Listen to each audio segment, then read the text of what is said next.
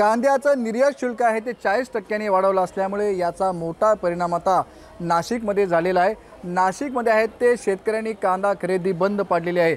आणि आता नवी मुंबई मार्केटमध्ये सुद्धा परिणाम होण्याची दाट शक्यता आहे. मी सध्या नवी मुंबईतल्या कांदा बटाटा मार्केटमध्ये आहे. आज या ठिकाणी एकशे वीस गाड्यांची आवक झाली असून जवळपास सत सतरा अठरा रुपये ते बावीस रुपयापर्यंत कांदा विकला जात आहे.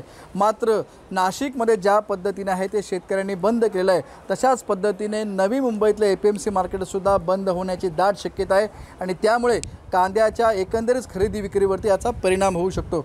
आपल्याबरोबर या ठिकाणी संचालक आहेत अशोक वाळून आपण त्यांच्याशी बोलूया. सर तुम्हीसुद्धा बंदमध्ये सहभागी होणार आहात. याचं मूळ कारण म्हणजे शेवटी इथे जो माल येतो तो शेतकऱ्यांचा माल येतो महाराष्ट्रातल्या. आता हे जे चाळीस टक्के जे शुल्क वाढवलं हे दिल्लीला कांदे महाग झाल्यामुळं वाढलं आहे महाराष्ट्रामध्ये कांदे महाग नाही झाले. महाराष्ट्रामध्ये आजसुद्धा आठ दिवसाची जर परिस्थिती बघितली तर सतरा अठरा रुपयापासून बावीस तेवीस रुपयापर्यंत कांद्याचे रेट आहेत. त्याच्या अगोदरची परिस्थिती इतकी भयान होती का सेकंड थर्ड क्वालिटीचे कांदे पाच ते दहा रुपयांनी विकले जात होते. तेव्हा शासनाला ते, केंद्र सरकारला दिसत नव्हतं.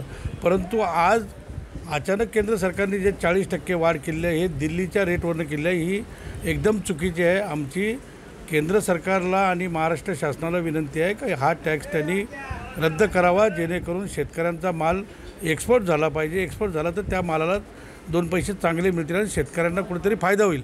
कारण याचं मुख्य कारण जर तुम्ही बघितलं तर जानेवारीपासून मार्च एप्रिल महिन्यामध्ये फार मोठ्या प्रमाणात अवकाळी पाऊस झाला होता आणि त्या अवकाळी पावसामुळं मोठ्या प्रमाणात शेतकऱ्यांचं नुकसान झालं होतं. आणि आता कुठेतरी वीस पंधरा वीस रुपये भाव मिळायला लागला तर लगेच दिल्लीवाल्यांना काय अंगात आलं त्यांच्या त्यांनी चाळीस टक्के सूट दिली. चाळीस टक्के सूटमध्ये एक्सपोर्टवाले कामच करू शकत नाही. तुम्ही आता बंदमध्ये सहभागी होत आहे याच्यामध्ये आम्ही आता शेवटी आम्ही शेतकऱ्यांवरतीच अवलंबून आहोत. हे मार्केटच शेतकऱ्यांचं आहे. त्याच्यामुळं जर आम्ही याच्यामध्ये आज संध्याकाळपर्यंत निर्णय घेतो आहे कारण नगर अहमदनगरचा मोठा पट्टा याच्यामध्ये इन्व्हॉल्व होणार आहे. पुणे जिल्हा अख्खा येणं याच्यामध्ये येणार आहे. आणि आम्हीसुद्धा शेतकऱ्यांना सपोर्ट करण्यासाठी दोन दिवसात म्हणजे आजच संध्याकाळी किंवा उद्यापर्यंत निर्णय घेऊन आम्हीसुद्धा बंदमध्ये व त्यांना पाठिंबा देऊ. आणि त्याच्यामध्ये जे शेतकऱ्यांचं नुकसान होईल त्याला जबाबदार शासन राहील. आणि मुंबईला पुरवठा जर झाला नाही त्यालासुद्धा श जबाबदार शासन राहील म्हणून आमची विनंती आहे. शासनाने महाराष्ट्र शासनाने याच्यामध्ये लक्ष घालावं.